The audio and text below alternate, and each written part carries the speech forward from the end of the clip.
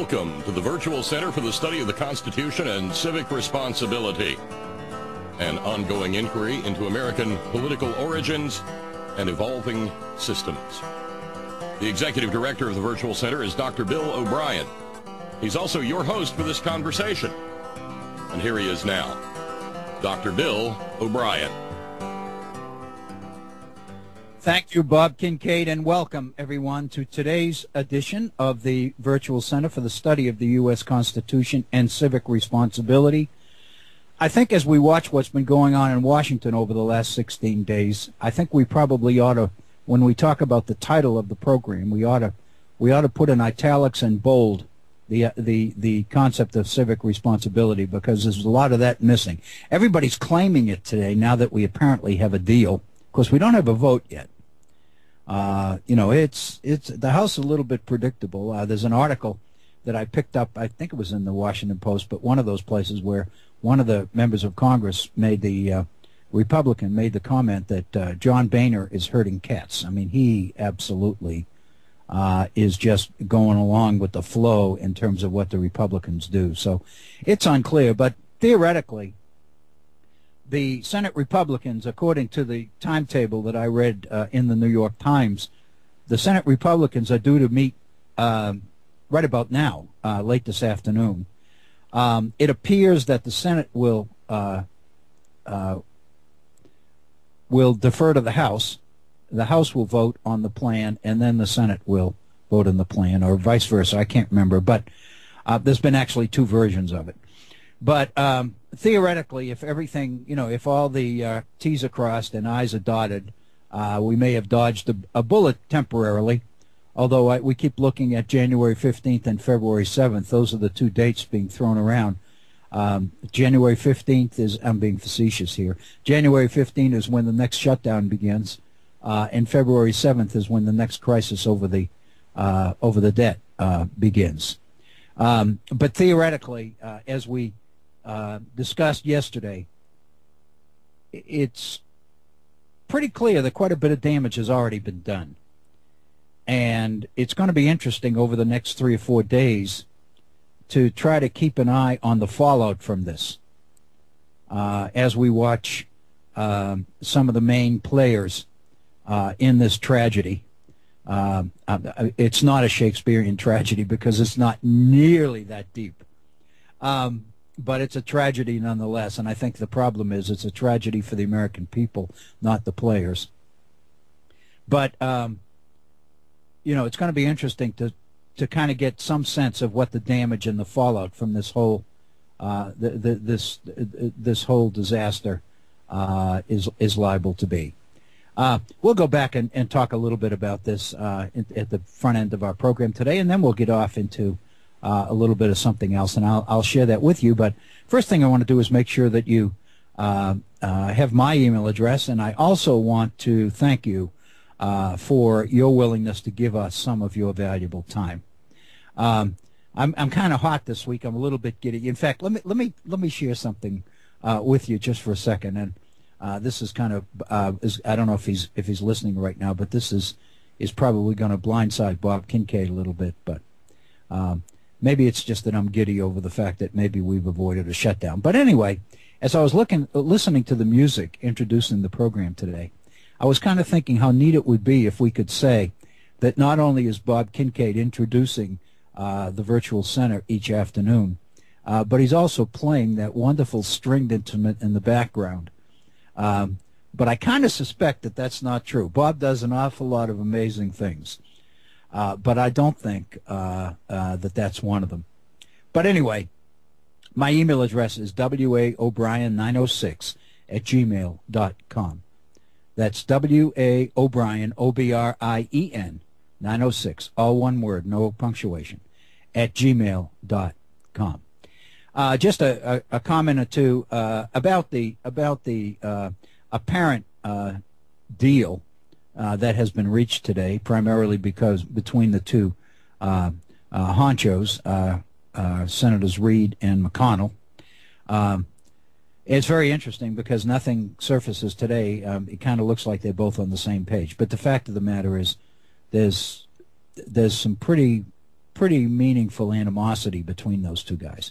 Apparently, McConnell, uh, uh, Reid believes that McConnell uh, was overly ambitious in doing what he could do during the last election to get uh, to get Reid defeated. Uh, and now McConnell is suggesting that Reid is kind of pay, paying him back in spades as as uh, Senator McConnell prepares for his challenge uh, in uh, next year's Kentucky election and in the Republican primary that precedes it. So there's no love lost between those two guys. Um, but it's very clear that there's not a whole love lost between a lot of these folks. Um, I, I, thought that I was listening to John McCain's speech on the floor of the Senate and uh, I thought I thought John McCain. Um, uh, the only thing that it kind of occurred to me is you know because John John McCain is always there. It's always visible. Sometimes I agree with him. Many times I don't. Um, and my my conclusion this time is well, John McCain's on the right side this time. But anyway. Uh, he was basically saying that the you know that the Republican Party has taken a beating over the last two weeks. This was a mistake to try to um, to take the uh, the nation and the world uh, to to literally to beyond the eleventh hour, in order to uh, put back on the table a piece of legislation that was passed uh, more than you know a few years ago, um, is was a little bit bizarre and a little bit extreme. Um, and and he pointed out that the Republican Party is taking is taking a real beating over the last two weeks, and they probably will continue to to do that. The thing that that I wanted to uh, kind of emphasize here, and it, it, plays into the last couple of programs uh, that we've done here at the Virtual Center, uh, while this, um, uh, you know, while this this play was moving into the later innings, uh, before the uh, the last of the ninth inning deal that apparently has been made, um, and that is the the Mark Levin book and the 11 Liberty Amendments that we've been looking at over the last two programs. It's important to mention that the deal that seemingly has been reached uh, reached this afternoon to uh, avoid to end the shutdown and to avoid the debt crisis.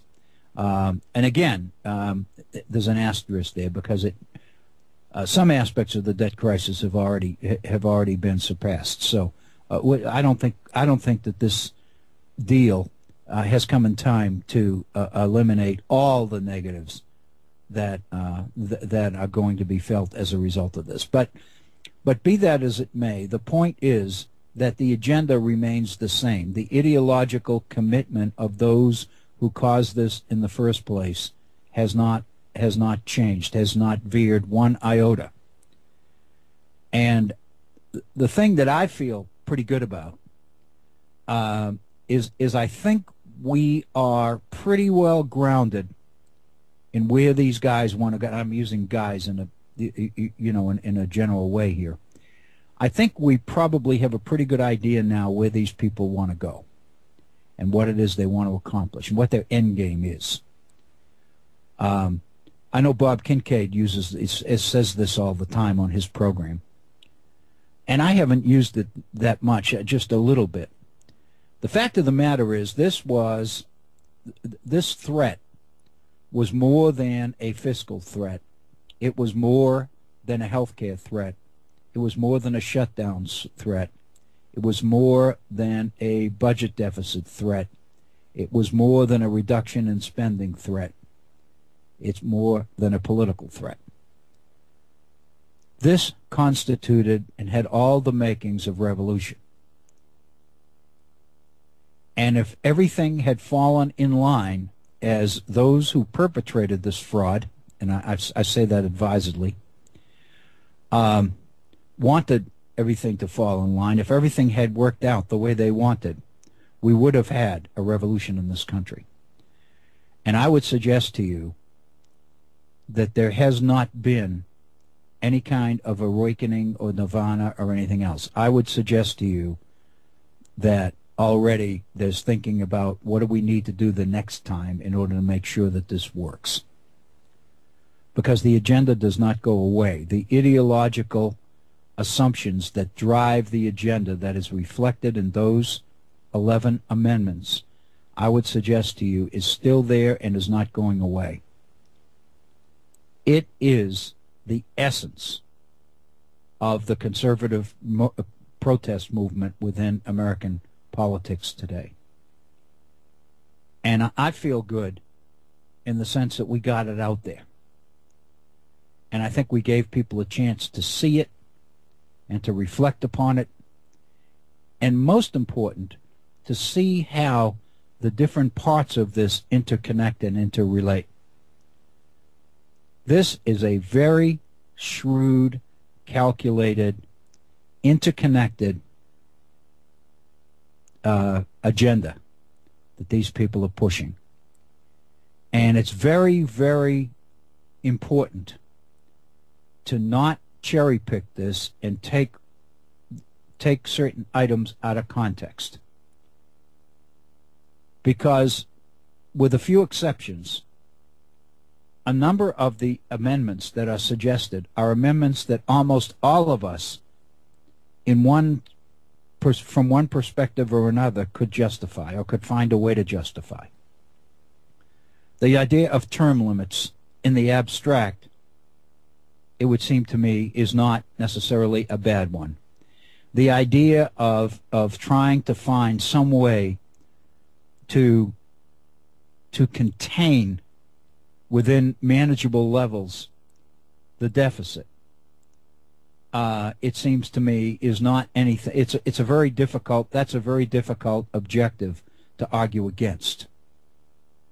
Um, and the fact of the matter is, there's quite a bit of of, of solid reason, reasoning here that is being used in order to pitch these points of view.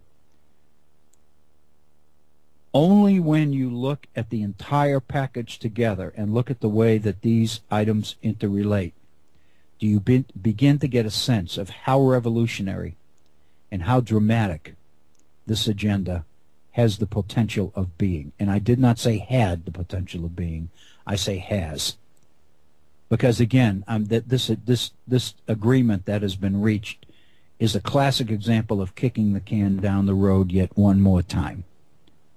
The dates have been moved up a couple of months, so to speak. But the fact of the matter is, there's supposed to be, by the middle of December, there's supposed to be a bu budget agreement on a number of these issues. And the budget, the joint budget committees are supposed to begin reading. In fact, there's re reports that Nancy Pelosi has already been around trying to get this budget, this joint budget committee to begin reading, meeting even today because the challenge is going to be immense.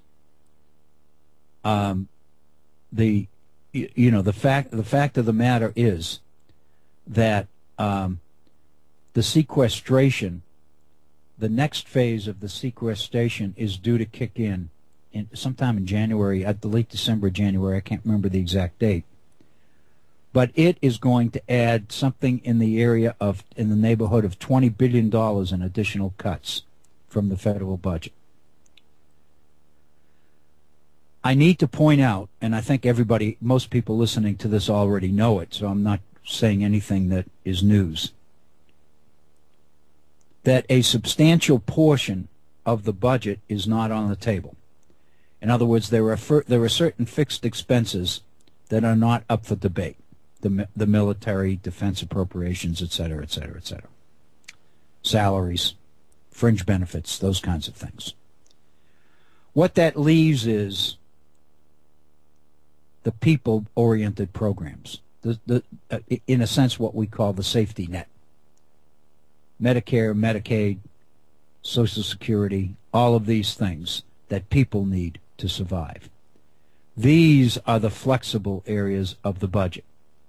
And when you start moving towards the next phase of sequestration, which is going to pull yet another $20 billion out of the budget, when in fact that $20 billion is, is going to come out of a very small proportion of an, of an incredibly large budget, you begin to get the idea that the emphasis here is going to hurt some people, the same people that are always hurt, very honestly, very, very badly. And I think we need to be aware of that. And so these budget negotiations that are going to go on, if they arrive at anything positive, if we arrive in the middle of December at some sort of a budget agreement, which the committee can bring back to the full Congress, I'll be very surprised. Because the one thing that we've seen in this is how strong is the ideological commitment of people on either side in this struggle that has I was going to say not that has just ended. It hasn't ended. It's just basically, uh, you know, it's on hold until the next chapter or the next inning begins or whatever you want to call it. So I think I think all of that is very very significant and important to keep in to keep in mind.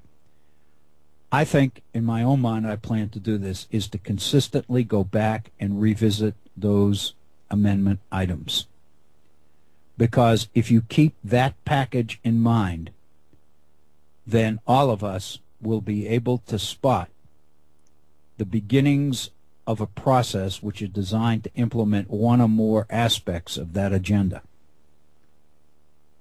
We know the end game.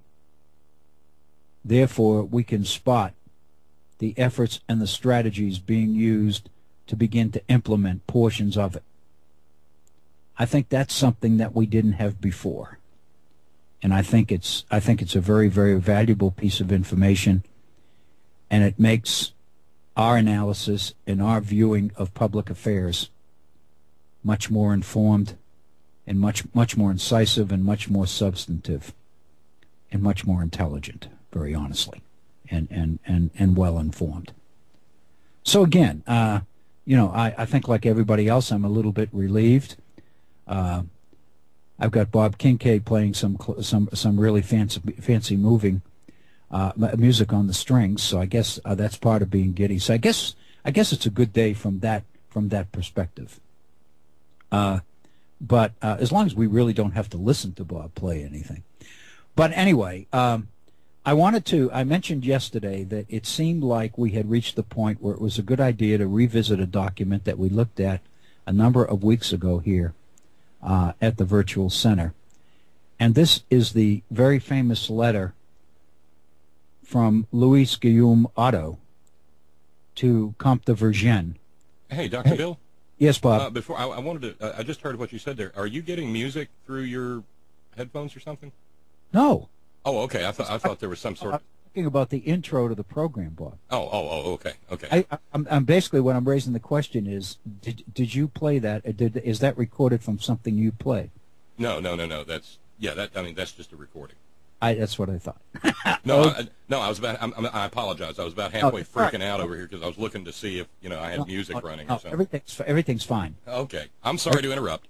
No, that's okay. You didn't interrupt. It was about you, and you. I used your name in vain. You had a right to interrupt. So. All right. So, and you didn't. Um, but I had mentioned yesterday that it seemed like we had reached a point here where it might be a good idea to revisit the Otto, what I call the Otto letter of 17 of September of 1786. Excuse me, October of 1786, 10 October. Um, about a week ago, I covered this in a class that I'm teaching, a college level class that I'm teaching. And I think more than anything else, I was struck. You know, I've read the letter numerous times, so I wasn't surprised by what's in it. Although it's one of those things that every time you read it, you I think you see something more. It's that substantive a letter. There's so much in it that I think is worthy of reflection and appreciation uh, for you know what what what how politics works not only during the 18th century, but even but even today. I think that's the value of studying history. Is obviously uh, if we if history is is doomed to repeat itself, is because we don't learn from it the first time. Um, so essentially, I think we can learn an awful lot about the the the way we interact with each other in today's society, based on what happened in the past. And um, but I covered this about a week ago with a class, and, and as I mentioned, what struck me was not so much the content of the class, but the reaction of the students to the content, content of the class. Uh, to say that what's in this document was news to, to these students would be an understatement. Uh, and what I mean is that students expressed, I could just tell by looking at their faces, I put this up on the overhead, and we read it together. I gave them all hard copies of the document, and then I put it up on the overhead, and we literally went through the document line by line, paragraph by paragraph. And I made it a point to to try to keep one eye on the reaction of the of the students as a whole, not any particular student necessarily, but just the general reaction. And what I began to sense was that as we went through the letter, the nature of student reaction to what's in the letter changed. I think I, I, I can honestly say at the very beginning that I think when, when a couple of the comments in the very first paragraph, which we'll get to in a second, um, were were shared when we read the first paragraph, I kind of got a sense on the part of many students that they kind of said, "Nah, this is this is some freak. That this this isn't this isn't mainstream politics. This isn't an objective, substantive uh, uh, uh, account of what's really going on. This is some crackpot in some basement somewhere in New York City uh, that's going off the deep end and seeing conspiracies and shadows and and and uh, uh, you know ghouls and goblins and everything else." But it didn't take long in getting into the letter before it became very obvious that that attitude of of disdain quickly changed into one of curiosity. And by the time we got 50%, 75% into the document, it became very clear that students were indeed appreciative of the fact that this is a perspective that they had never been introduced to before, and yet a perspective that I, I believe they thought made perfect sense to them. One guy, uh, one student in the class who's older than the others, he I know a little bit about him. We've talked. He's uh, he's in business for himself. He's a small businessman. Um, and he's been in business for himself. He's owned his own company for better than a decade, better than 10 years. Um, he's been out there in the work world. Um, he's extremely he's extremely knowledgeable. You can tell when you throw out questions, he's usually one of the first to respond. He he he gets this stuff, and uh, he uh, it was very obvious that he um, that that this was was having an impact on him to the point that at the end of the class when students were packing up their books and leaving as he walked by me he kind of made the comment and said before today I, I knew that an awful lot of stuff that we were covering in this class is stuff that's not usually covered in a history class before. But if I thought that was true before I know it's true now after today. And I just had a feeling to be very honest with you, and I'm not, I'm not, you know, patting myself on the back or anything else here, but I just had the feeling that at least in this one case, he appreciated being exposed to this kind of information. You know, I mean, this is out there.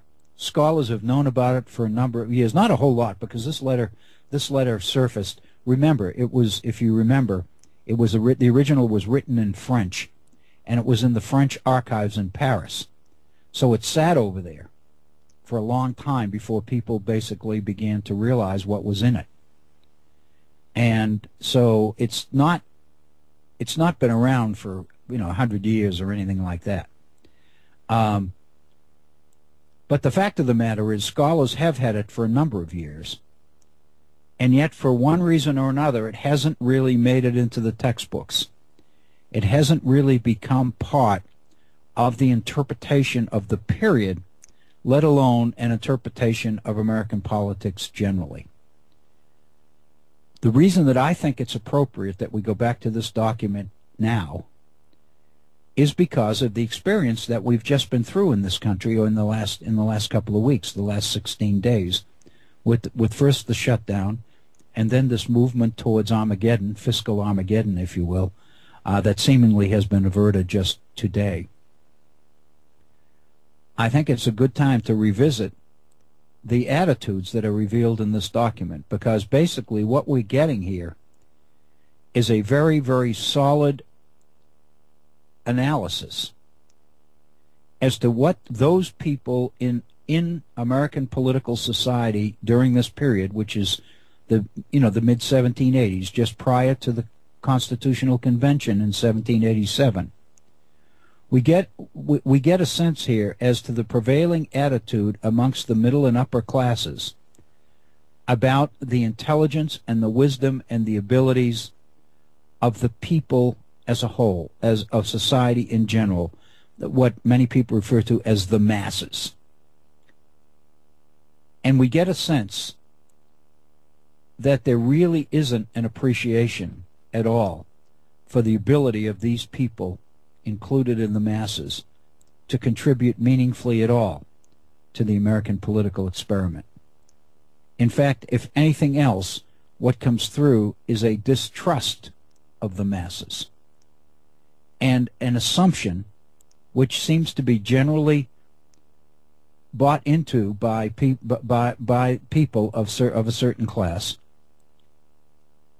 that it's necessary to manipulate and spin I'm using the word spin because it's a popular one today and spin issues and information in such a way that we are able to control the way that the masses see particular issues.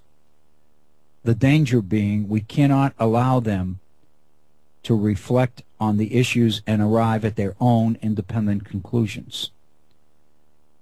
If we are going to be safe and if we are going to continue to remain a society and united, it's very important that we maintain some control not only over the information that the masses gain access to, but more importantly, the interpretation of that information in order to make sure that these folks are not left to make an independent interpretation for themselves.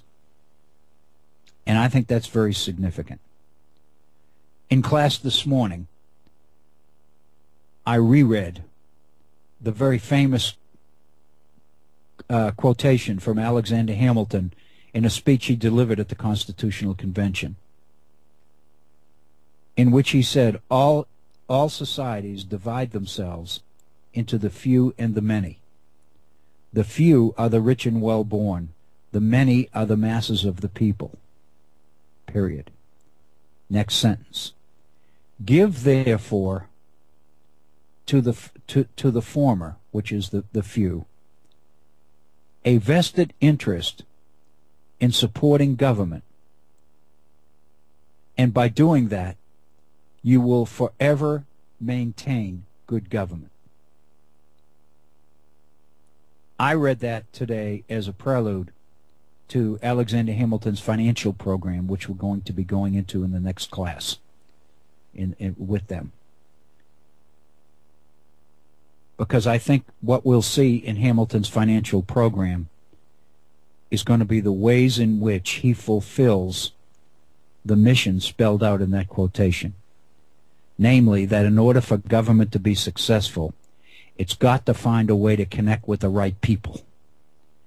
And the way government can best connect with the right people is to connect financially.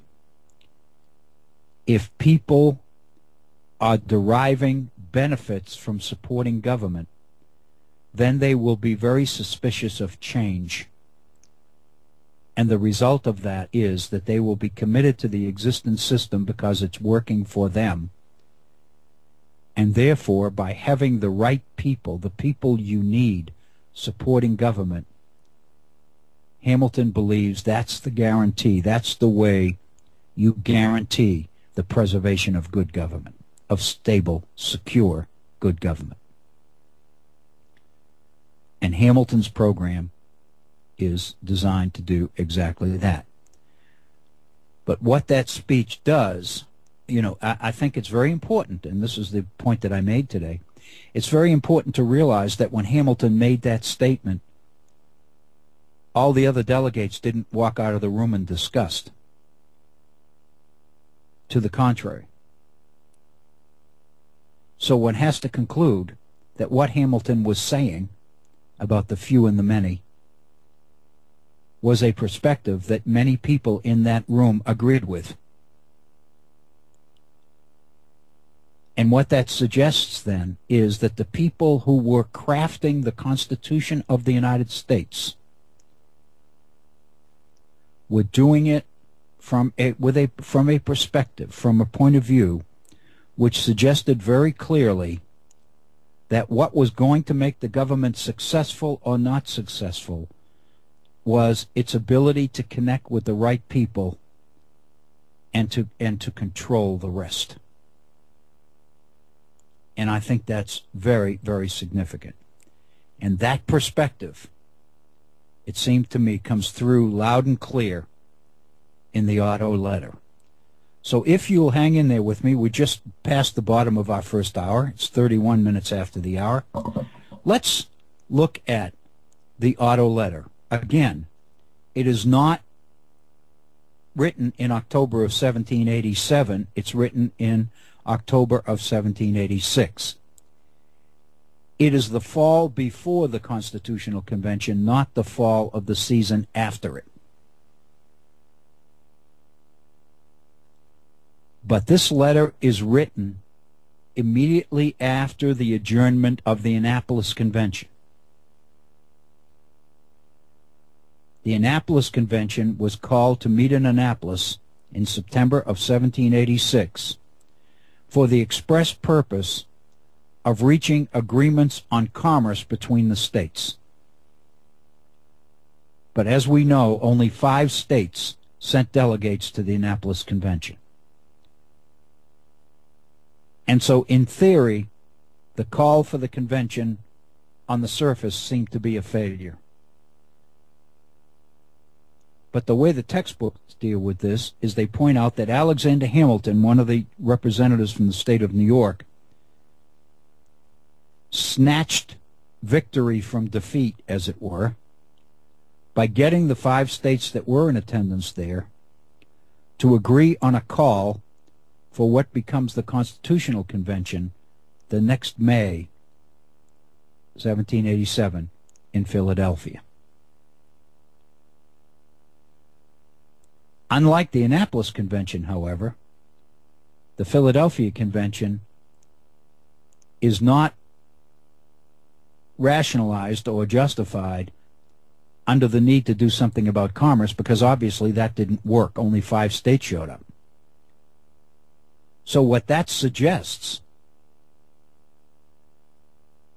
is that people in the states, that states knew that the real issue here was not commerce at all. It was revision of the central government, revision of the Constitution, the Articles of Confederation. And that is very consistent with the delegates from Massachusetts at the at the convention Congress under the Articles of Confederation when the Massachusetts legislature asked its delegates in Congress to initiate a move to call a convention for purposes of revising the Articles of Confederation. And the delegates refused to do it by saying that there are rumors flying all over the place here that there is a cabal afoot which is secretly planning to scrap the articles and replace them with an authoritarian government. In other words, to remove the Republican form of government that we currently have in Massachusetts and replace, us, replace it with something else. Now, the, the, the thinking is that it's going to be something like a monarchy, as Great Britain had. But the fact of the matter is, it's the it's the the awareness, the rumors about that cabal that seemingly keep eight of the 13 states from attending the Annapolis Convention. And it's right after that convention that Otto, the French ambassador to America, to the United States, sends a report back to his immediate supervisor, Comte de Vergennes, who's the uh, uh, who heads foreign affairs. He's he's the equivalent of our Secretary of State under the King of France.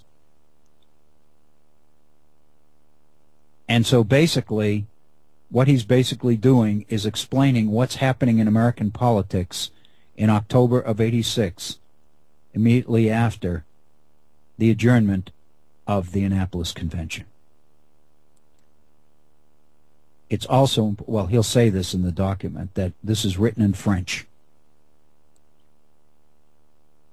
And he says quite a bit else about it. So let me, let me begin by reading his first paragraph. Otto begins by referring to, to his boss, Comte de Vergennes, as my lord. And he says, my lord, the commissioners named by the various states to propose a general plan of commerce and to give to Congress the powers necessary to execute it were meeting in Annapolis over the last month. But only five states being represented, they did not think they should broach the principal question, and they limited themselves to addressing to Congress and to the various legislatures a report that characterizes the present spirit of this country's politics. I think the significant item in that sentence is because only five states showed up they did not think that they should abro- uh, that they should broach the principal question. So what Otto is suggesting here is that while the convention was called based on the issue of commerce, Otto was suggesting that the real issue, the real agenda was not commerce at all. And so basically, the formal report of the convention, of the Annapolis Convention, which was sent to the state legislatures and to Congress, focuses on the spirit of the country's politics. And then Otto says to Vergennes, and this, I think, is a critical line in the document. In translating this report, I have taken care not only to put it into French, but to render it intelligible. They endeavored to give the original an obscurity that the people will see through with difficulty, but which the powerful and enlightened citizens will not fail to turn to account. What Otto is suggesting is that the report of the Annapolis Convention that was sent to the legislatures and sent to Congress, what came out of that Congress, is not intelligible to the average person, but that it is intelligible to the powerful and enlightened citizens. In other words, what Otto is reporting back to Paris is that there is indeed a cabal going on in America. There is indeed a plan, an agenda. I don't know if you want to call it a conspiracy, because conspiracy kind of suggests that what's going to happen is very negative. The result of this conspiracy becomes the Constitution of the United States, which most people don't believe is negative, so maybe conspiracy is not the right word. But the fact of the matter is the report was written in such a way that average people would not understand it. But the rich and powerful and enlightened citizens would understand perfectly what's going on. It might be going too far to say that what Otto is suggesting here is that the report of the Annapolis Convention can be read on two different levels. Or perhaps you can say that it's written in code, that it's written in such a way that certain people will understand it and that the vast majority of the people will not. The only conclusion that I can reach, and I think the one that all of us need to reflect upon, is that this does not suggest a sincere, serious effort on the part of the leaders in American politics during this period to be straight up and honest with the people of the United States. The, the implication here, which is very clear, is that something very seamy is going on.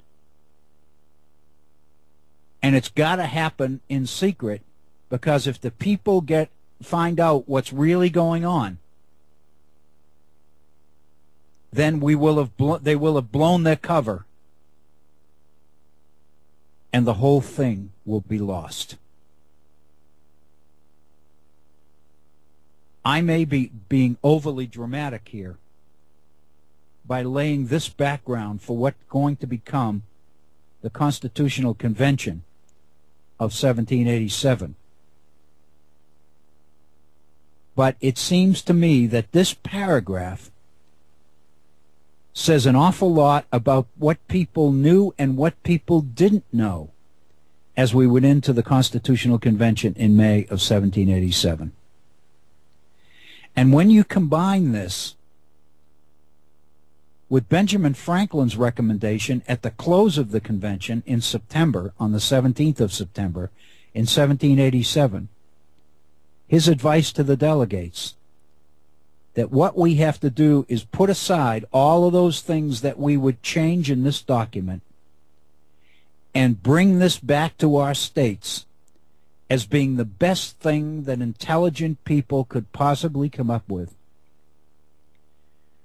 And that if this isn't passed, the nation will confront disaster. And what Franklin is saying to the convention, to the delegates, is if the people are confronted with a choice of the Constitution as we've put it together or chaos, they'll buy it. What that suggests, and Franklin at the Constitutional Convention is in his 80s. I believe he's 86 years old. What Franklin is saying is that from the get-go, there is not a serious intention on the part of the framers to honestly and objectively lay out the ingredients of the Constitution of the United States and explain them. Rather, that the ratification of the Constitution is going to be based principally on an effective sales job on spin, on dishonesty, on innuendo, on obfuscation. Pick the word that you want.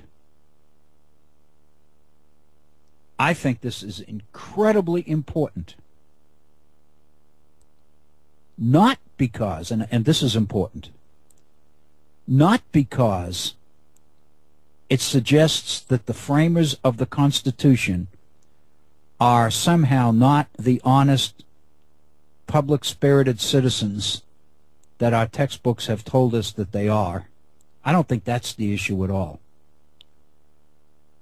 I think what this speaks to is the desperate situation that these people believe that they were in.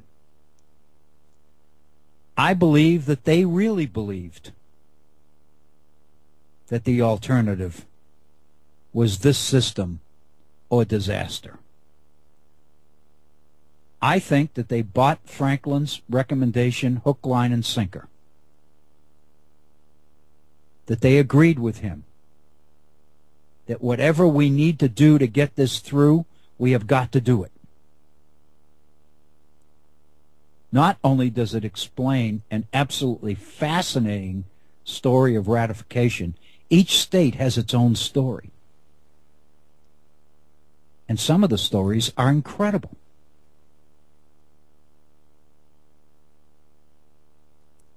The tremendous power of Patrick Henry in his opposition to the Constitution in the Virginia Ratifying Convention in June of 1788. And an acknowledgement from his principal opponent, who's James Madison, that Patrick Henry may be the greatest orator and the greatest public speaker that he's ever seen or read about. What a compliment to your opponent, to your competitor.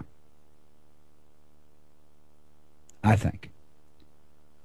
I also think, again, that if you are negative, if you are inclined to be negative and to see things from a from a jaundiced light rather than a positive one. You could say that this is a conspiracy, that this is this is political dishonesty. On the other hand, you could also say that it speaks to the very desperate nature that these people believed that the situation called for. An incredibly serious situation and called for incredibly devious and serious methods in order to make sure that disaster was avoided. And when you look at what the founders, the framers were able to do and how they were able to do it, I think their reputations can survive.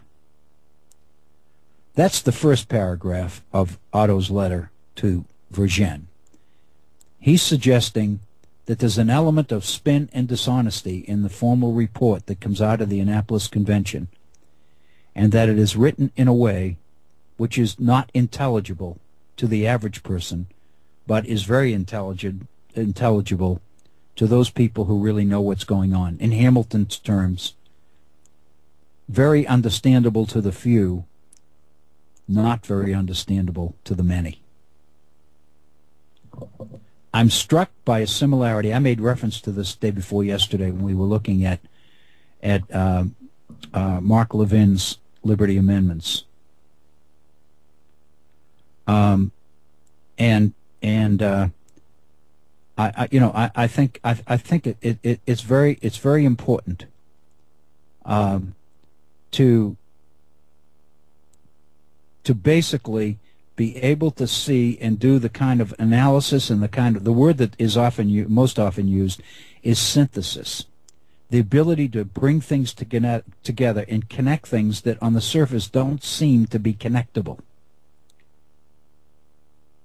But once you recognize that they are all part of something bigger and then you begin to look at how indeed these elements do connect what you are doing is making meaning. You are reading between the lines. You are engaging in what the educational people refer to as critical thinking, which is so important in our education system today, mostly because it's not there. But it's demanded by employers. It's demanded by college instructors. It's demanded by everybody. The need for people to be able to think analytically and critically. And of course, in large part, that means abstractly. And so just as it's necessary to synthesize the 11 amendments that Mark Levin is proposing by seeing them, all of them, as part of an agenda, as the stages or the ingredients of a political and economic agenda, so also it's very important to look at the work of the framers this this way. Otto proceeds in his next paragraph to kind of give Vergennes an overview of what's been going on in American politics up until that time. And he says, For a very long time, my lord, they, meaning the powerful and enlightened citizens, they have felt the necessity of giving the federal government more energy and more vigor. But they have also felt that the excessive independence accorded to the citizens with regard to the states and to the states with regard to Congress is too dear to individuals for them to be divested of it without great precautions. In other words, for a long time, these people have wanted to find ways to strengthen the central government. There's a whole story of things they tried to do, imposts and and, and you know taxes on imports and uh, and very and sales of Western lands and various other things uh, as a strategy to try to find ways to strengthen the central government under the Articles of Confederation. But his point was that they've come up against a brick wall over and over again because citizens under the Articles of Confederation are doing quite well. Business may not be, creditors may not be, but the average citizen is doing very well because with power in the legislative branch of the state government, for the first time in American history, it's possible for people, average people, to get together and make their voices and their needs and their wants heard by their elected representatives and expect to get positive results. This is the closest under the Articles that the United States has ever been to, to majority rule democracy. Because state constitutions under the Articles of Confederation, and of course you got the only way you can understand the state constitutions is to see them against the backdrop of the American Revolution, of the Declaration of Independence. And if you look at the Declaration and you look at the things that people were most afraid of, then you can understand why in their state constitutions they tended to reduce the power of the governor, enhance the power of the legislature, control the behavior of the courts. In other words, power in the Confederation period was exercised mostly by the people's branch, by the legislative branch. That meant that people had direct access to that place in government which had the most power, which is the elected representatives. So people who were in trouble were able to make demands to the elected representatives and expect to get results. According to Montesquieu, that's the way Republican government is supposed to work. But these powerful and enlightened citizens apparently believe that it's a disaster. And for years, they've been find, trying to find ways to strengthen the central government, which Otto defines as giving the central government more energy and vigor. But citizens realize that their ability to influence their state legislatures and their state's ability to influence Congress gives them an advantage or opportunities that they're not very willing to give up. So therefore, the efforts of the powerful and enlightened citizens to strengthen the central government have come up short. Otto goes on. The people are not unaware that the natural consequences that the natural consequences of a greater power accorded to the government will be a regular collecting of taxes, a strict administration of justice, extraordinary duties on imports, strict actions against debtors, and lastly, a marked preponderance of the rich men and the great proprietors. People are not stupid, Otto was saying. They know that once you give government more power, you're going to have to live with the results. And the results are regular collection of taxes, whether you got the money or not. Strict administration of justice. No more of this, oh, times are bad, give me a break. Extraordinary duties on imports, ta high taxes. Strict actions against debtors. In other words, forcing people who owe money to pay it. And lastly, a marked preponderance of the rich men and the great proprietors. In other words, a much more visible role and concession to the power and influence of the few, of the rich and well-born, of the powerful and enlightened citizens. People know that, Otto says. They're not willing to strengthen the central government, knowing that what that's going to mean is that all the perks that they've been enjoying during the 1780s will be lost. It is, therefore, Otto says, in the interest of the people to preserve as much as possible the absolute liberty that was accorded to them at a time when they knew no other law except necessity. And when an English army laid, so to speak, the foundations of the political constitution. The people know that it's in their best interest to preserve the freedoms and the liberties that they were able to get by becoming independent from Great Britain and breaking free of the military occupation, the martial law, the taxes, the tax collectors, all those things that they experienced under Great Britain when government was efficient. So they have a vested interest now in not going back to that.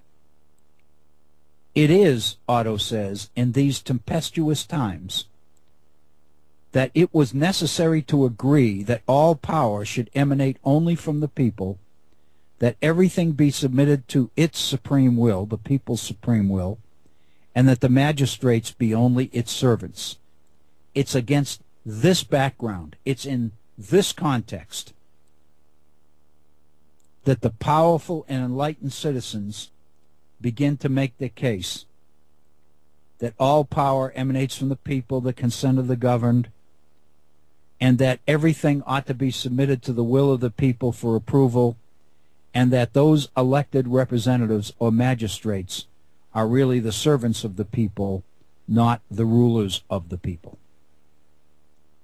Those political values which Republican government takes as a give as givens emerge against the background of the reality of the fact that people are guarding the independence and freedom which they acquired and holding it very, very tightly to their chest. They're not going to give it up easily.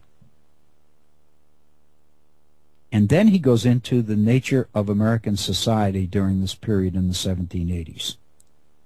Although there were no patricians in America, landed no, landed nobility going back to Great Britain, the old landed nobility, the aristocracy. Although there were no patricians in America, Otto says, there is a class of men known under the denomination of gentlemen, who by their wealth, by their talents, by their education, by their families, or by the position that they fill, aspire to a preeminence that the people refuse to give them, accord them. And although several of these men have betrayed the interests of their class in order to acquire popularity, there reigns among them a liaison all the more intimate, since they fear almost all the efforts of the people to despoil them of their possessions, and since they are in addition creditors, and consequently interested in strengthening the government and attending to the execution of the laws. Translation While we don't have a landed aristocracy or a landed nobility like Europe had, we do have a class of gentlemen that refer to themselves as gentlemen who, because of their wealth and their position and their talents and their education and the families that they were born into and that the positions they hold, believe that they deserve a level of respect, a preeminence that the people are unwilling to give them. In large part because they bought into the Declaration of Independence idea that all men are created equal and they're endowed by their Creator, etc., etc. So the people are breaking away from this idea of the, a natural aristocracy or the idea that there is a that that some people are better than other people. They're trying, in fact, to set up a society that is just the opposite from that. These powerful and enlightened citizens are not able to get the respect from the people that they feel that is due them. And even though we know that some of these people have have have sold out, they've betrayed the interests of their class in order to be popular, in order to acquire popularity. In other words, they become demagogues. They pretend to be spokesmen and advocates for the best interests of the people, but they're but they're really not. It also happens that many of these people are creditors, and consequently they have a vested interest in strengthening government in order to make sure that the laws are enforced so that they will be paid. So these people have a vested interest. Charles Beard's economic interpretation of the Constitution was not total fantasy. Those people that were most in favor of strengthening the central government and making government more efficient and ensuring that the laws were enforced were the very same people who were creditors and wanted to eliminate the possibility that large numbers of debtors would be able to go to government, go to their legislatures, and secure relief from payment of the debts through paper money laws and installment laws and legal tender laws. Legal tender laws are are where the legislature would pass a piece of legislation and say that because times are tough, you don't necessarily have to pay your taxes or your debts, your private debts in money. Until until situation improves, your creditors are required to accept animals, cows, pigs, chickens, whatever you happen to have in lieu of money in payment of your debts. So you're forcing creditors to accept things as repayment for loans that drive the, the creditors crazy. These same people, Otto says, and I know I'm beyond the top of the hour. We'll take our break in one second. These same people are the ones who pay the highest taxes because they're the upper class, while the small proprietors escape the vigilance of tax collectors. So these people have a fiscal interest in strengthening the government. Many of them are merchants. So consequently, it's important for them to establish the credit of the United States in Europe so that so that Europeans can expect to be paid for the money loaned to help us win our independence. It's absolutely essential that Congress have the power to get the money they need from the people through taxes in order to pay America's creditors, not only here within the United States, but overseas as well. What Otto is suggesting then is this is the nature of the interest groups that are pushing hardest to strengthen the central government and make it more more efficient in the enforcement of its laws. These are the people that want change. But they are up against a general population that is very appreciative of the fact that they currently, under the Articles of Confederation, are living under a very responsive government and they're unwilling to change that.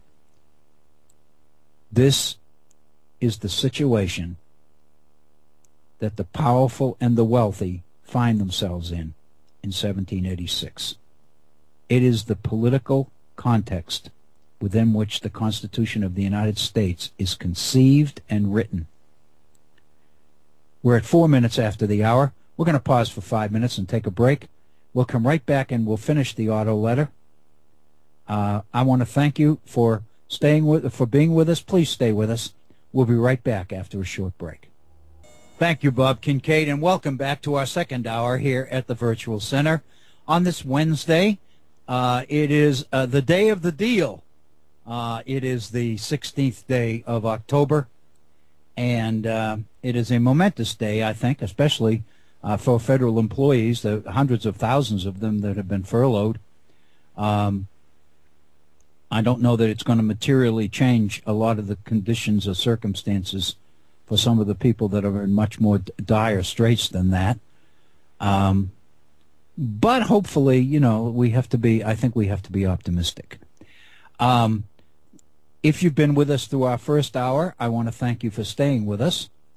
That that says something very important to to me at least. And if you're just joining us, welcome to the program.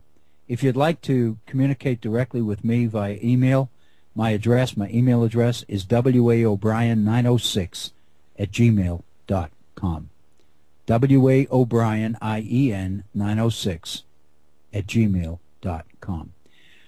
We've been, if you're just joining us, we've been revisiting a letter that we looked at several weeks ago, I guess probably a couple of months ago, actually, um, that was written by um, the French ambassador to the United States during the 1780s. Uh, he's based in New York. It's October of 1786. The Annapolis Convention in Annapolis, Maryland has just ended toward the end of September. And Otto is making a formal report to his supervisor in France, who happens to be Comte de Vergennes, who is the French foreign minister. He is the architect of French foreign policy during this period, much as our Secretary of State holds that same role under our system of government. Otto is his employee. Otto is his man in the field. Otto's job is not only to represent the interests of France within the United States, but also to report back to his supervisors at home exactly what's happening within the United States. This letter is a report based on the adjournment of the Annapolis Convention in late September 1786. It's an incredibly revealing document, not only for the information it contains, but also for the perspective that it brings to the period. It basically, and we've, we've been through this in our first hour, it basically suggests that there's a certain group of people, he refers to them as let me let me I want to make make sure I'm being accurate here. He refers to them as the powerful and enlightened citizens. Madison in Federalist number 10 refers to these same people as as the most considerate and virtuous citizens. As you think about the structure of any society, people that fit that definition, those definitions, become very clear. They are your professionals, they are your wealthy, they are your investors, your bankers, your merchants, your shipbuilders, your manufacturers. These are the people who make the economy go, the prominent people. They also happen to be creditors. And what Otto is pointing out in this letter is that these people have a vested interest in strengthening the central government and give and, and as he says, giving it more energy and vigor. What he means is giving it the power that it needs to enforce the law, to force people to pay their debts, to be able to tax people in such a way that the nation can meet its financial obligations and responsibilities. These are the people who feel that they have a vested interest in the future of this country beyond their own day-to-day survival. And Otto points out that for years they have been trying to strengthen the central government in order to give it more energy and more vigor. But their major opposition are the masses of the people who recognize clearly that under the Confederation they have access to government and can expect government response to their needs and wants that they've never had before in the history of this nation or never will after this. This is the most democratic period in American history. and the framers of the Constitution are driven principally by a desire to change that. To, in a sense, undo much of the optimism and much of the enthusiasm and ideological assumptions that emanate from the Declaration of Independence. And so what Otto is doing, at where we stopped, what Otto is doing is giving Vergennes kind of a breakdown as to what's been happening in America. And this next paragraph is extremely informative. I'm going to try to read it in a way which will make, I realize you're listening. It's very difficult if you don't have text to read along with me.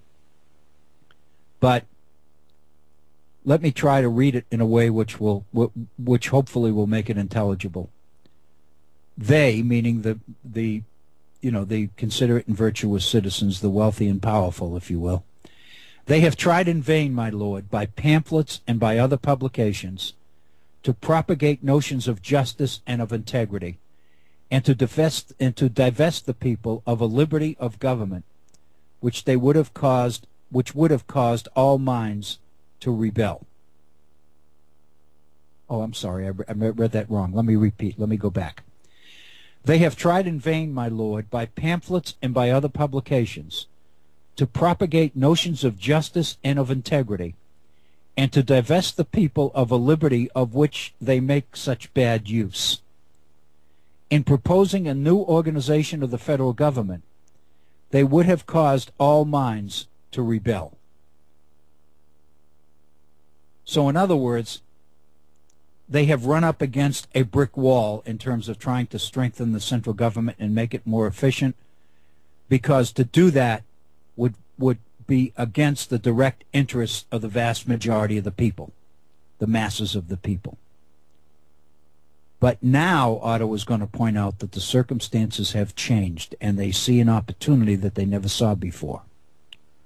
Ruinous circumstances for the commerce of America have happily chanced to furnish the reformers a pretext to introduce some innovations.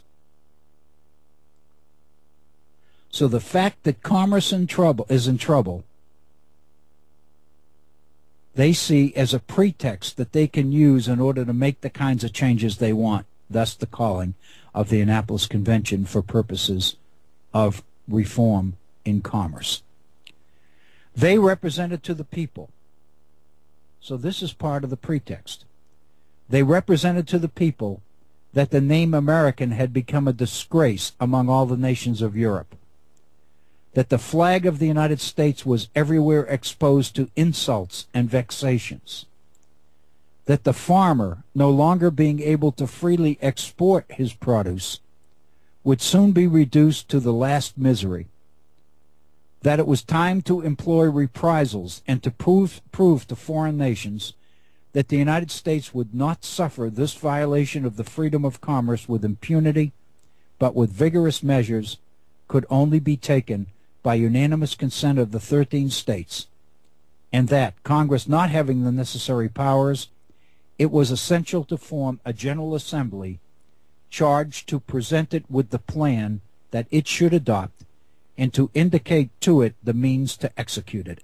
In other words, because the nation is commercial, experiencing commercial problems, these people who want to reform the system see an opportunity, an opening. And so what they begin to do is abandon their previous efforts to argue for justice and integrity and all the rest of it in pamphlets and publications now they're playing to the realities of the situation. They begin to tell people that America is being ridiculed and looked upon with disdain in Europe. They point out, they, are, they, they suggest to the people that the flag of the United States is being exposed to insults and vexations. They point out that American agriculture, the farmers, because they can't freely export their produce, would soon lose their property. That what we needed were reprisals in order to prove to foreign nations that the United States would not suffer, would not put up with this violation of the freedom of commerce with impunity, that but that its government would take vigorous measures to make them appreciate and respect America. So what Otto is telling Vergennes is that the reformers begin to play to people's patriotism, to this sense of pride in being an American.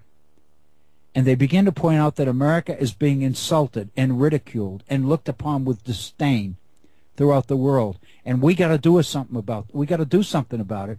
But the only way we can do something about it is to give government the power that it needs in order to respond. And so commercial problems become a pretext for initiating the kind of actions that they believe will result in reforming the nature of the central government. The people, Otto says, generally discontented with the difficulties of commerce and little suspecting the secret motive of their antagonists, embraced this measure with ardor and named commissioners who were supposed to meet in Annapolis at the commencement of September. In other words, his point is that this worked. The Annapolis Convention was called, and states appointed representatives to come to Annapolis to do something about this. So Otto is pointing out that the situation for these people after years of frustration looked to be very positive. The authors of this proposition, my lord, had no hope or even any desire to see this assembly of commissioners, which should only prepare a question much more important than that of commerce, succeed.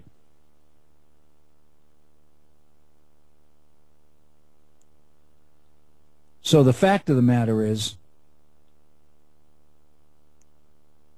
these the authors of this of this proposal had no hope that this would work.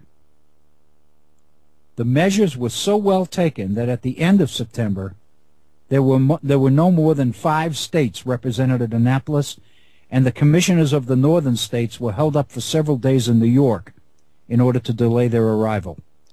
So the fact of the matter is their hopes were somewhat dashed by the turnout at Annapolis.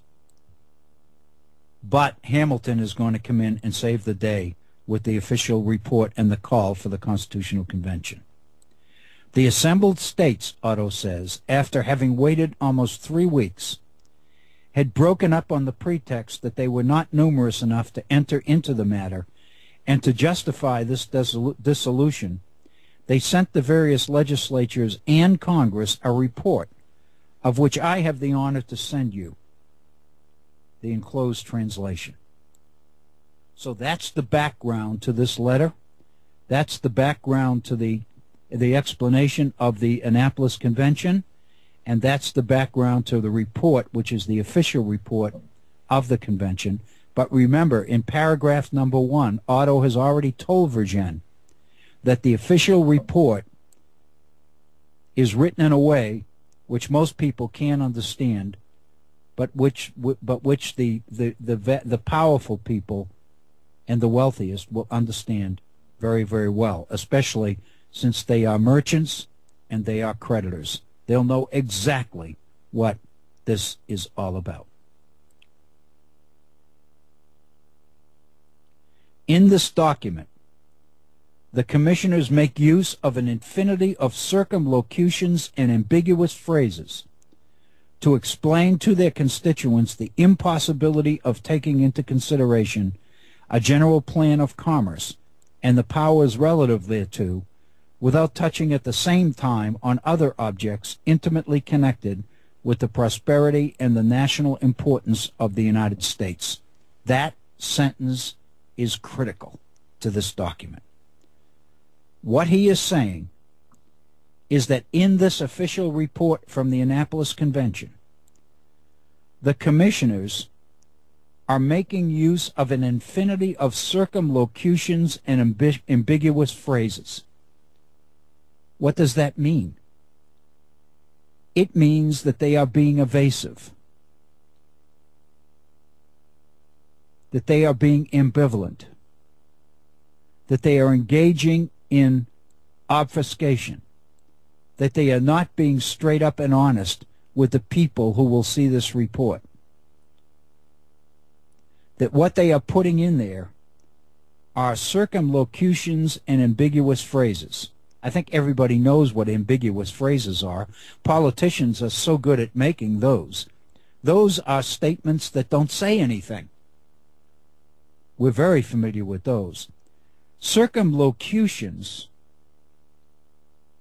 the word circum, meaning roundabout or skirting the edges of truth or not quite not hitting the mark, they're evasive statements that are intentionally designed to not say what they seem to say.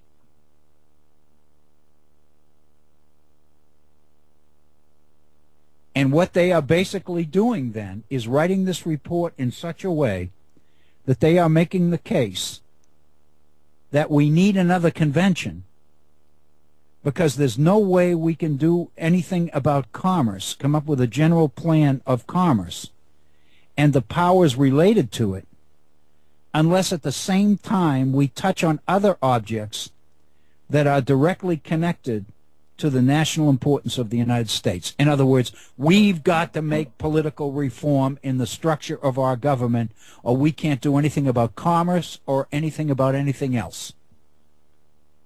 Without naming these objects, Otto says, the commissioners elaborate on the present crisis of public affairs, on the dangers to which the Confederation is exposed,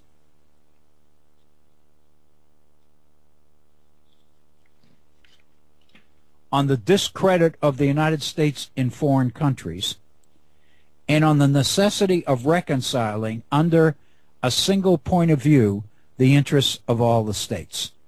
In other words, they are literally, in this report, they are turning prospective failure into possible success. They are snatching victory potential victory from defeat. They are taking a bad situation, which was the turnout of five states, and they are using it in order to issue a call for a convention. But they don't use commerce as a cover anymore because that hasn't worked. So in the call for the Philadelphia Convention of May 1787, they straight up say that the purpose of this convention is to revise the Articles of Confederation, make the changes in the structure of government that we need in order to fix the problems of commerce and all the other commerce, uh, all the other problems. They conclude by proposing for the month of May next a new assembly of commissioners charged not only with deliberating on a general plan of commerce, but on other matters that might interest the harmony and the well-being of the states and on the means of adapting the federal government to the needs of the Union. He goes back to the nature of the way this report is written. In spite of the obscurity of this document, to most people that read it, it's obscure. It's not clear. People, the average person has no idea what this document is talking about. In spite of the obscurity of this document, you will perceive, my lord, that the commissioners did not wish to take into consideration the grievances of commerce, infinitely interesting to the people, without perfecting at the same time the fundamental constitution of Congress itself. It is hoped that new commissioners will be named with powers sufficiently extensive to deliberate on these important subjects and to put Congress in a position not only to approve resolutions for the prosperity of the Union, but to execute them. To give Congress not only the perspective of solving problems, but the power to implement the solutions to those problems. But again, the strategy, as Otto was laying it out to Vergennes, the strategy of what the commissioners are trying to do is clear. What I believe we need to recognize is that they feel it necessary to be obscure in the way this is written when they are about communicating with the masses of the people, the, the population at large. What they are effectively doing here is conforming exactly to Hamilton's strategy in his constitution in his speech at the Philadelphia Convention in 1787 when he says that all com communities divide themselves into the few and the many. The few are the rich and well-born, the many are the rest of the people. What he's basically suggesting is what we have here in this report is an example of the few talking to the few, but doing it in ways that the many can't understand, can't appreciate, can't recognize, cannot interpret.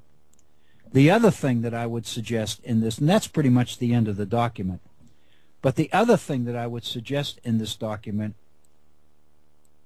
which I think is very revealing in this next to last paragraph, is Otto's admission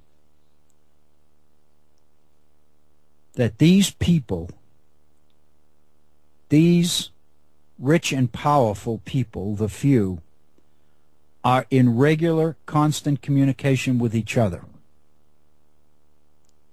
They are constantly talking back and forth about strategies and problems and issues and, and all the rest of it. So in effect, what Otto is doing is confirming the report of the Massachusetts delegates at the, at the Articles of Confederation Congress to the state legislature which says that there is a cabal afoot whose purpose is to change effectively the structure of Republican governments and replace them with a much more powerful, much more centrally located, much more authoritarian form of government. What Otto's letter does is confirm the realities of that. And I think it's very, very significant. I think this document is worth is gold in terms of perspective and understanding of the Constitution of the United States because there's no question if this report of the of the Annapolis Convention was written in ways which were obscure and duplicitous and vague and all the other terms circumlocutions and all the other terms that are used I would suggest to you that the Constitution of the United States itself is written in that same vein, as are the Federalist Papers. So in a sense, what we're talking about here, when we talk about the people ratifying, the people consenting to be governed, and the people ratifying the Constitution of the United States, we've got to recognize that the people who drafted it and the people who pushed it the hardest are of mind that the people cannot and should not understand this document, and I'm putting words in their mouths here, but I think it's very obvious they feel that the reason we have to do this is because if the people really understood the document that they, that they are going to be asked to vote on, they wouldn't approve it. The only way that the people are willing to ratify this document is if they believe that the alternative would be disaster. And to imply or suggest that the masses of the people understood the Constitution of the United States which they voted to ratify by electing Federalists rather than Anti-Federalists is at best, naive. I don't want to go off the air. We're at 33 minutes after the hour. We've got about 25 minutes left in our program. I don't want to go off the air today and leave the impression that the framers of the Constitution, James Madison and the others, would, you know, of course they were duplicitous. But to suggest that they were conspirators and that they were doing something which is illicit and immoral and illegal and all the rest of it, it seems to me, I'm not, I'm not going to suggest that. Neither am I going to suggest that they weren't. I think that's up to you. You you know these documents. They I'm reading these documents word for word. It seems to me that it's your call. You have to figure out what makes the most sense to you. But one of the things that I have recognized is that if you can get into the heads of the founders, if you can look at society the way they looked at society, then you can get a much better appreciation of why they felt it necessary to do what they're doing.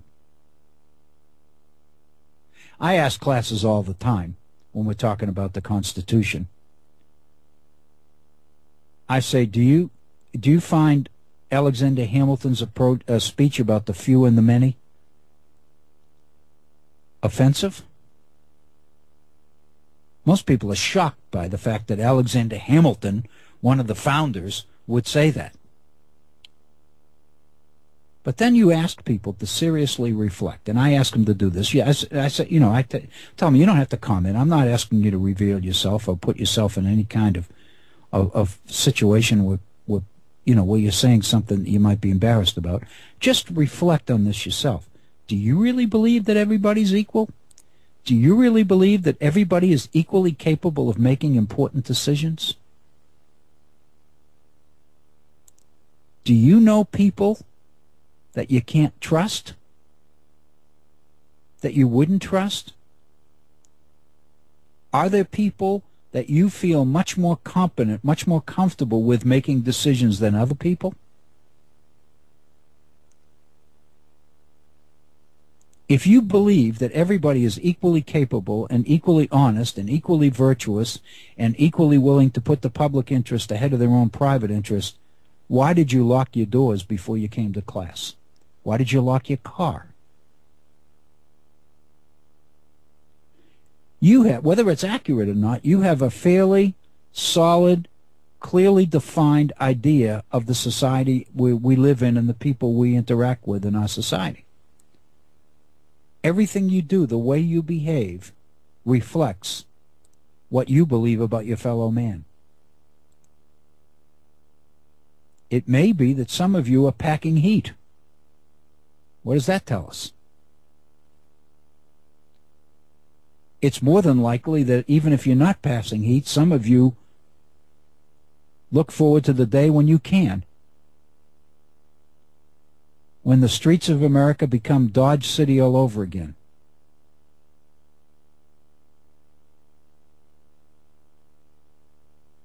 And we can eliminate what in many of our cities has become, have become recreations of the massacre at the OK Corral.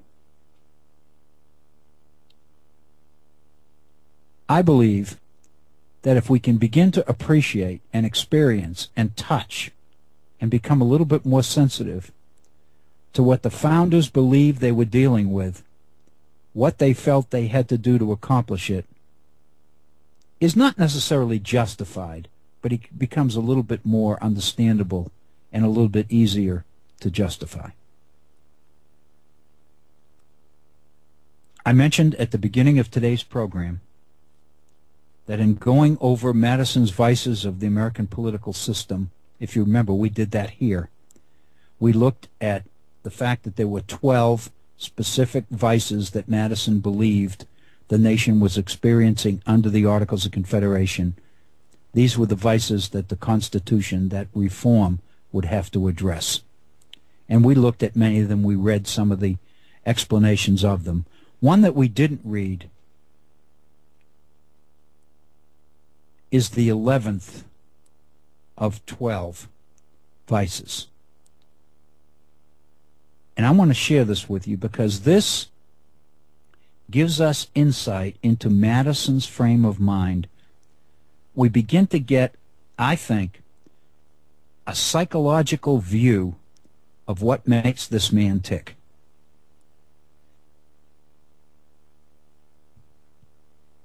This document was written in April of 1787. The Constitutional Convention is scheduled to convene in May.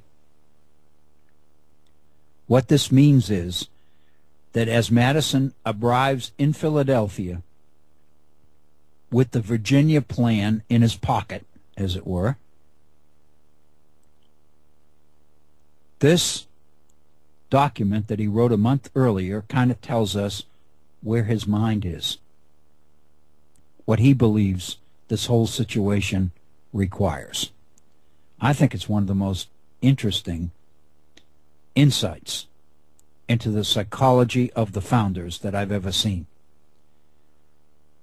His 11th point, the 11th vice that he talks about is the injustices, the injustices of the laws of the states.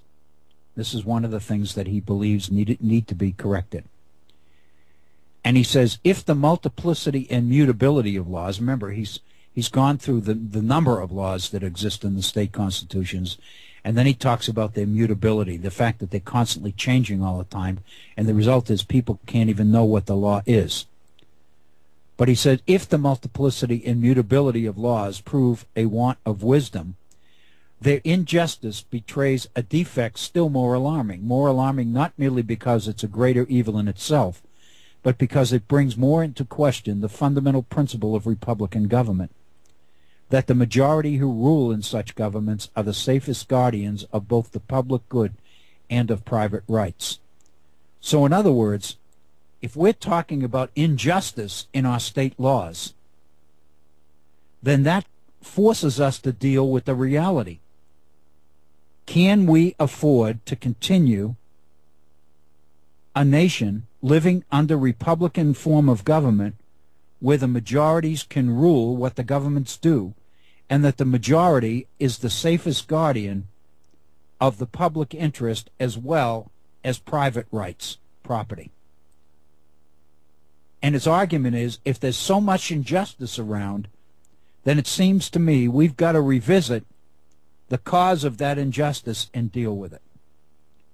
And he says the causes of this injustice lie in two places in the representative bodies themselves and in the people. And then his first item then is the representative bodies themselves. And he says representative appointments are sought for three motives. In other words, people seek, seek elective office for three reasons. Number one, ambition. Number two, personal interest. Number three, the public good. And then he says, unhappily, unhappily, the first two are proved by experience to be the most prevalent. Rarely do people go into elective office because they are driven to do something good for people. Most of the time, they go into it in order to do good for themselves. Hence, he says, the candidates who feel them, particularly the second, personal interest, are most industrious and most successful in pursuing their object and forming often a majority in the legislative councils with interested views contrary to the interest and views of their constituents, join in a perfidious sacrifice of the latter to the former. What we've got to deal with is the reality. People go into public service for three reasons: because they're ambitious, because they can they think that they can benefit directly from it, their own self-interest, or the public interest.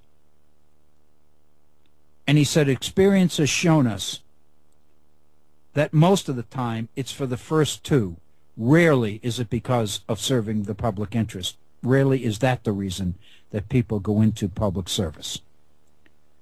Hence, he says, candidates who feel ambition and personal interest go into their jobs with their personal interest as their primary objective,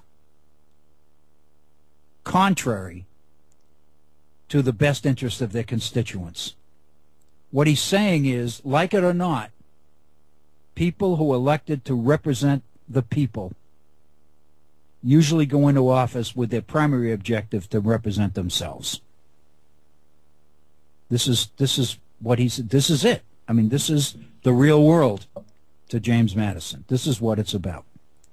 Not only that, but once they get into their legislative councils, once they begin to serve in their elected offices, they will join up with other people who have the same interests they do, and consequently, they will carry out as an organized group the pursuit of self-interest rather than the interests of the public.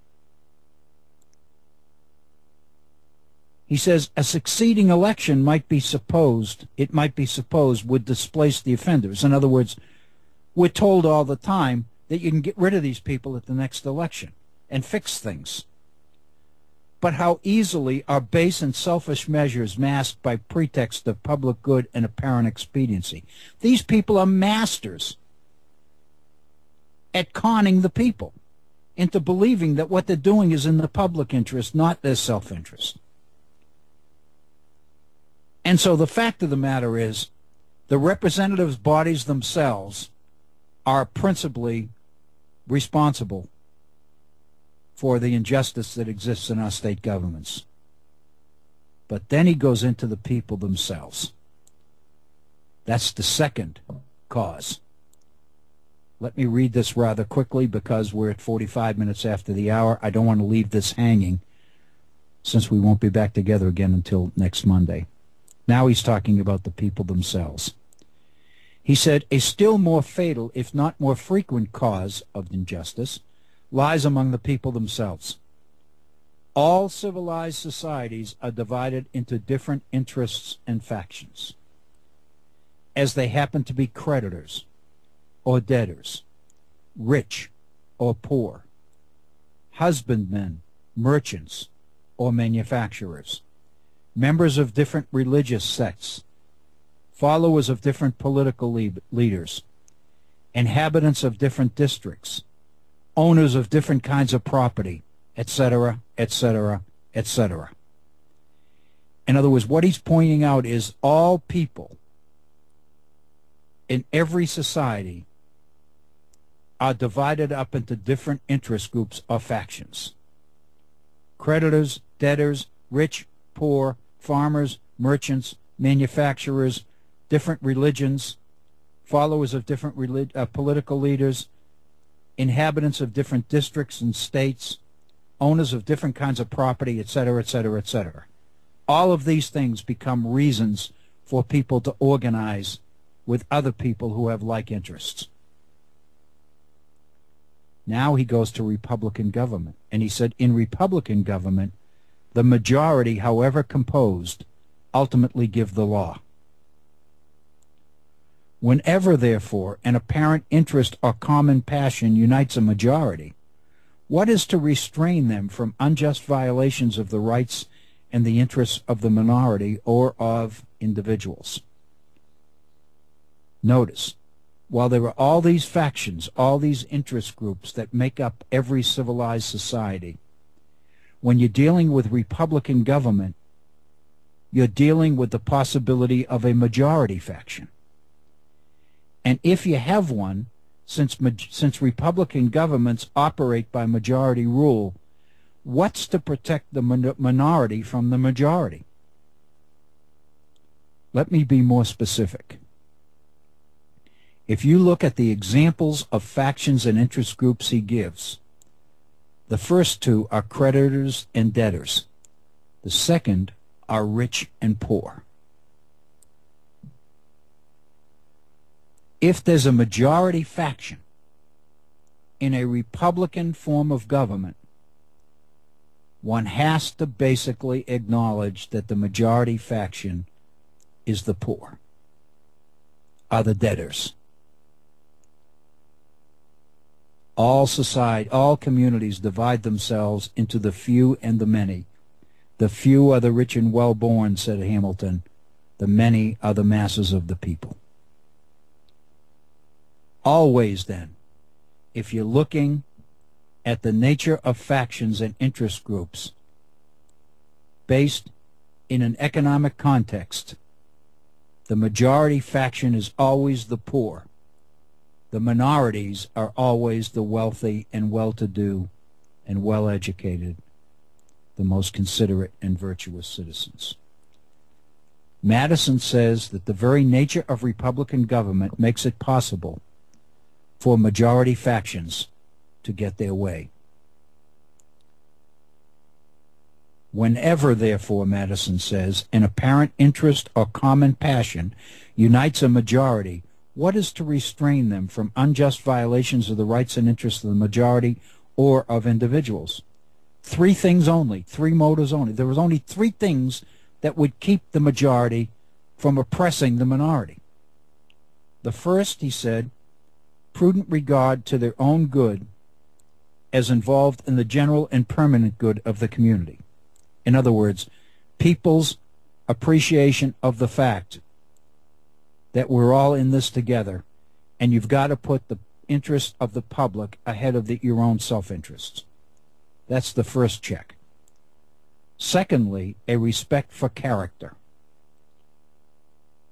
However strong this motive may be in individuals, it is considered as very insufficient to restrain them from injustice. In a multitude, its efficacy, its value, is determined in proportion to the number which is to share the praise of the, of the blame. His point is that the first control on the tendency, because of self-interest, of the majority to abuse the minority, of treating them unjustly, the first control is a commitment to the public interest. Madison has already said people will always put their own self-interest first. So that's not going to contr- that's not going to control the minor the majority. The second potential control is respect for character. And he says this might happen when you're talking about individuals. But when individuals become groups, it's really hard for character to predominate. Once a particular opinion becomes the opinion of the majority, the standard is fixed by those whose conduct is to be measured by it. The public opinion without the society will be little respected by the people at large of any country. In other words, when you get into a group, the character traits that control your behavior, that keep you from doing bad things and cause you to do right things as an individual, tend to get lost in the shuffle people can't, you know, uh, my the way I explain it, people tend to just throw up the hands and say, what the hell, everybody else is doing it, why not me? Everybody else is getting benefit out of this, why shouldn't I? And so the constraints, the things that would ordinarily restrain us and keep us from doing the right thing, commitment to the public interest and character itself, are not sufficient checks to keep people from pursuing their own self-interest, especially when they're a member of a large group that constitutes a majority that can get their will just by majority rule. What's to contain them?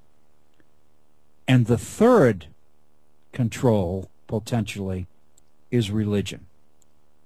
Will religion, the only remaining motive, be a sufficient restraint, Madison asks. It is not pretended to be such on men individually considered. Again, when you consider men individually, they'll live by their religious precepts, etc.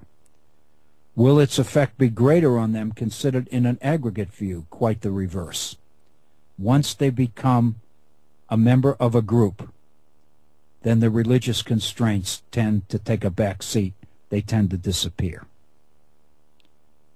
The conduct of every popular assembly acting on oath, the strongest of religious ties, proves that individuals join without remorse in acts against which their consciences would revolt if proposed to them under the like action sanction separately in their own closets. In other words, what people would never do because of their religious upbringing and training, what people would never do as an individual, they will do when they become a member of a group. We call it the herd instinct. We see this all the time in terms of bullying and all these other things that are going on. These are good kids. I know the parents. I know the family. They're good kids. I can't believe they did this. But when they get together in a group, Madison says, they tend to lose their, the constraints of character and religion and all the things that kept them on the up and up as an individual. They tend to lose. Then he says, when religion is kindled into enthusiasm, now he's talking about emotional religion, evangelical religion, speaking in tongues, and, and, and, and all the rest of it that we, that we know in, in religion today. He said, when religion is, kin- is enkindled into enthusiasm, its force, like that of other passions, is increased by the sympathy of a multitude. When you become a member of a religious group, you get into the music, into the th- into the thing.